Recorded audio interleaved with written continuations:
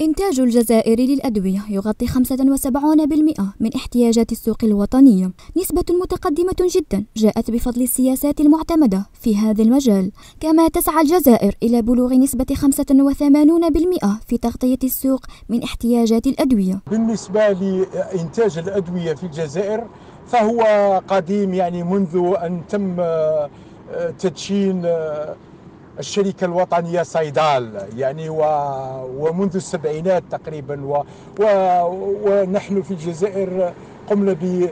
بإنشاء مصانع ومركبات كثيرة. ولضمان جودة الأدوية وفقا للمعايير الدولية تم إطلاق المخبر المركزي ذات المعايير العالمية للوكالة الوطنية للمواد الصيدلانية لتحليل ومراقبة الأدوية بشراكة ألمانية. هذه الوكالة المهمة الأولى نتاعها هي أنها تراقب إنتاج الأدوية من طرف آه، القطاع الخاص.